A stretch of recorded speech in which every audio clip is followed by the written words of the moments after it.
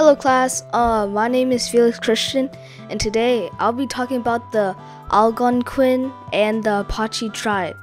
So, for the physical environment, the Algonquin people primarily like inhabited the Atlantic seaboard in the northeastern regions of North America, and so they also went to Jamestown in Virginia and and the Pilgrims in Massachusetts.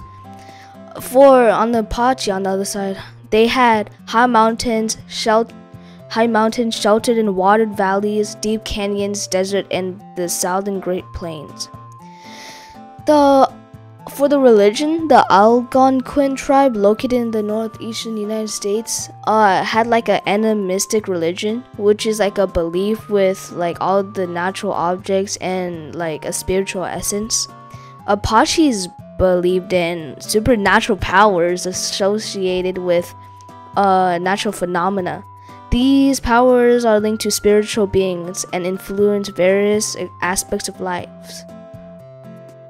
For the clothing, the Algonquin tribe wore a variety of animal skins, utilizing like a range of different types of hides.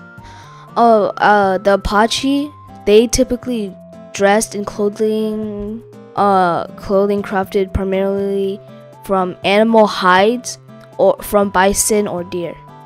The Algonquin, the Algonquin uh, tribe made decisions together for the government. Uh, the chiefs leading, like leading the whole group.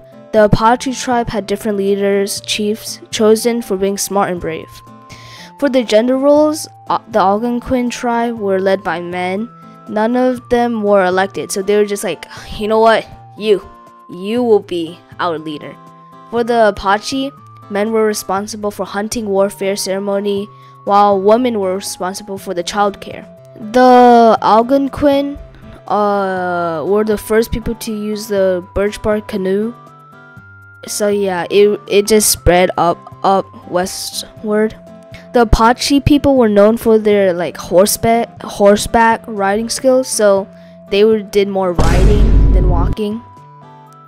The Algon Algonquin uh, tribes had eight um, salmon, cod, seals, and other water animals. They also had like ducks and pigeons.